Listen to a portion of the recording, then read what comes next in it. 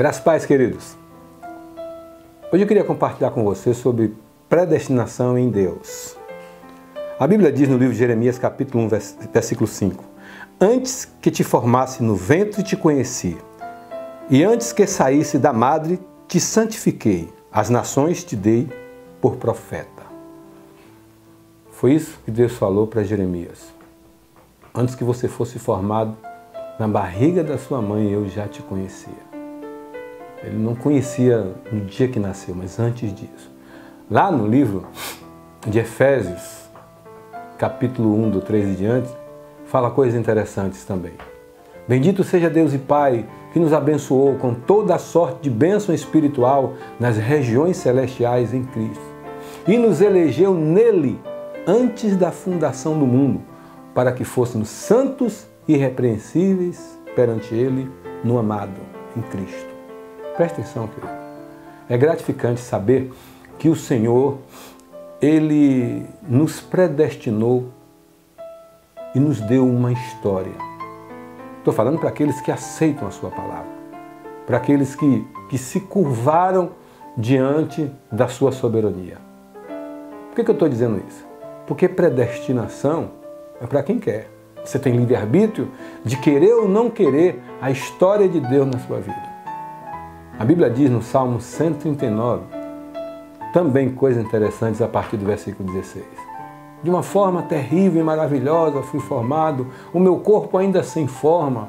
Né? E ele começa a falar lá na frente, ele fala assim: Tu tens um livro escrito sobre a minha vida e este livro já está pronto até os dias que não aconteceram. Ou seja, Deus escreveu um livro sobre você. Deus escreveu um livro sobre mim. Ele escreveu a nossa história. A gente só precisa, é, como diz ali em Atos, capítulo 17, tateando, buscando que possa achar, buscando esse propósito. Todos os dias, né, na presença de Deus, temendo ao Senhor, sendo obedientes à Sua palavra, para que essa predestinação, para que esse destino que Ele já preparou aconteça nas nossas vidas. Isso é magnífico. A Bíblia diz que André era irmão de Pedro. Ele pega Pedro pela mão e apresenta ele a Jesus. E Jesus diz algo que pode passar percebido para alguns. Mas Jesus diz assim: Tu és Simão, filho de Jonas, e serás chamado de Cefas, que significa pedra, Pedro. Ou seja, Jesus disse: Você é Simão, você ainda é Simão, eu conheço seu presente. Filho de Jonas, sei quem é seu pai, sei como você foi criado. Mas você será chamado de Pedro, pedra. Eu conheço o seu presente, eu conheço o seu passado e bem sei do seu futuro. Lá na frente, Jesus ainda fala mais para ele. Pedro, você vai morrer por mim. Presta atenção. Nós servimos a esse Deus que preparou uma história belíssima, uma história de vitória. Nós só faremos parte da história se estivermos dentro desse propósito.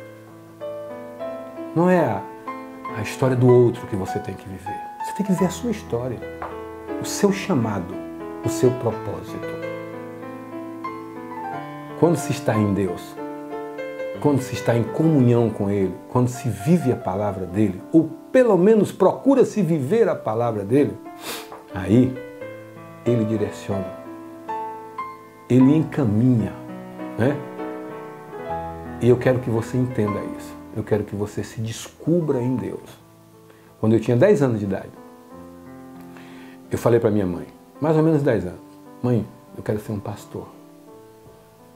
A vida me levou para as drogas durante nove anos. Eu me tornei mendigo. Eu dormia nas condições velhas. Eu comia lixo. Tenho vergonha de dizer isso.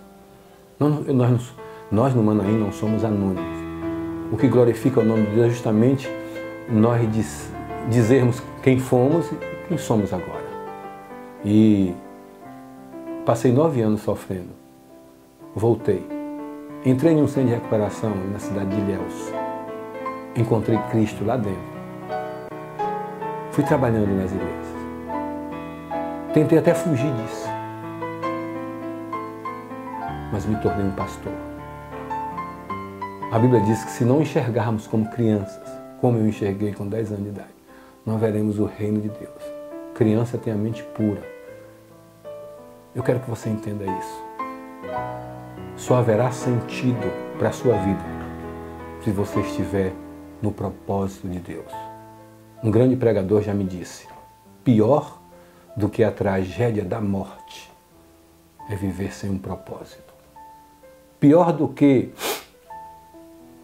morrer é viver como sepulcros caiados, tentando viver a história de outros. A melhor pessoa que você deve sonhar ser é você mesmo.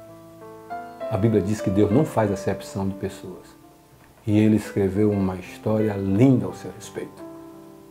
Você tem algo para fazer aqui na Terra, na sua geração, que ninguém mais pode fazer. Só você pode fazer. Aí, o gostoso disso tudo é que no final a gente pode estufar, estufar o peito e falar como o apóstolo Paulo.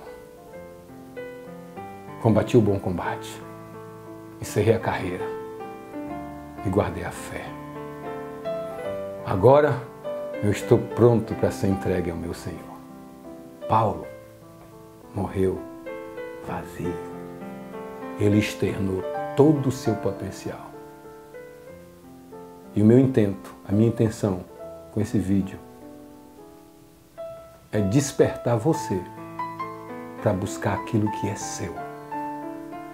Salmista diz: Senhor, não me dê pouco para que eu venha roubar ou mendigar. Não me dê muito para que eu venha te esquecer. Me dê a minha porção, a minha história. Que Deus nos abençoe e que cada um de nós possamos encontrar a história de Deus em nossas vidas. 秀夫さんですね。